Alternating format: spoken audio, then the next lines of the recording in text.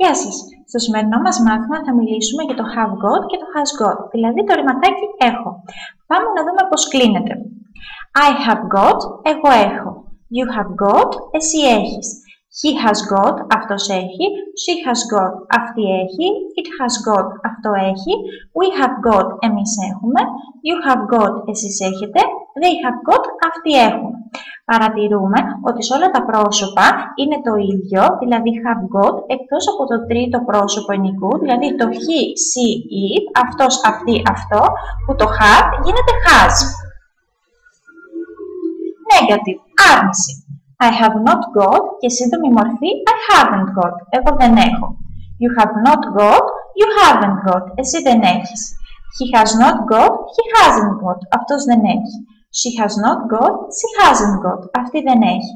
It has not got, it hasn't got. Αυτό δεν έχει. We have not got, we haven't got. Εμείς δεν έχουμε.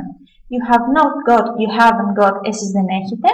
They have not got, they haven't got. Αυτοί δεν έχουν παρατηρούμε ότι πάλι είναι το ίδιο σε όλα τα πρόσωπα είναι have εκτός από το he, she, it που είναι has και για να σχηματίσουμε την άρνηση το μόνο που έχουμε να κάνουμε είναι να βάλουμε το not.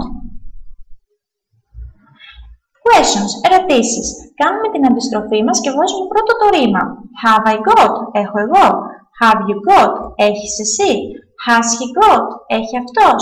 Has she got, έχει αυτή. Has it got, έχει αυτό. Have we got, έχουμε εμείς. Have you got, έχετε εσείς. Have they got, έχουν αυτοί. Πάμε να δούμε μερικά παραδειγματάκια. I have got a cat. Εγώ έχω μία γάτα. Have you got a computer? Έχεις εσύ έναν υπολογιστή; Yes, I have. Ναι, εγώ έχω. No, I haven't. Όχι, εγώ δεν έχω. Mary hasn't got a jacket. Η Mary δεν έχει ένα σακάκι.